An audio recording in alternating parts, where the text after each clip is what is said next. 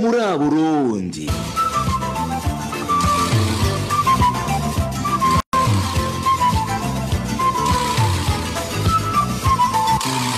Ho muri Burundi.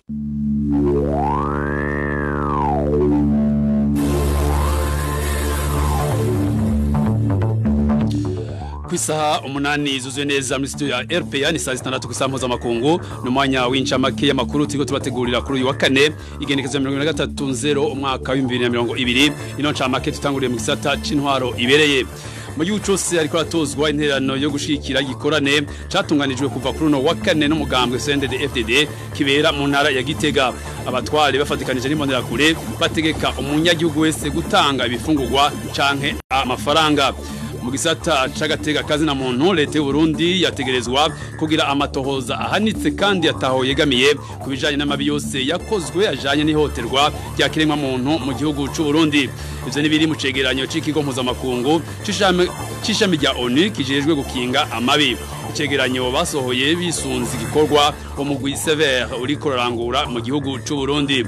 Mu gisata c'imibano naho amezi ane araheze abanyagihugu muri zone rukara mu secteur Kigwati bataronka amazi meza. Intandaro no muringoti watobokeye aho bita mu Kabamba agabura komine Mutimbuzi na komine Mpanda mu ntara ya Bubanza.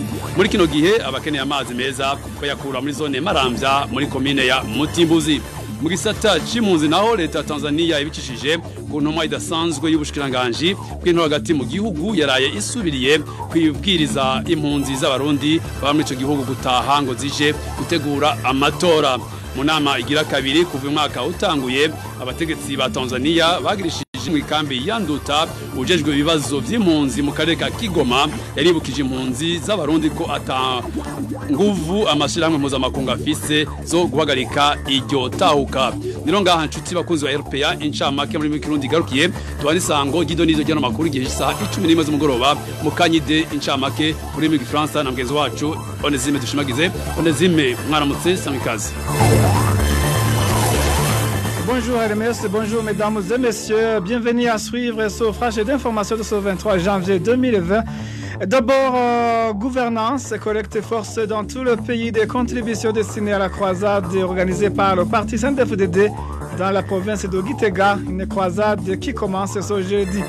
Les administratifs à la base et les Imbonerakure exigent à la population de donner de l'argent ou des vivres.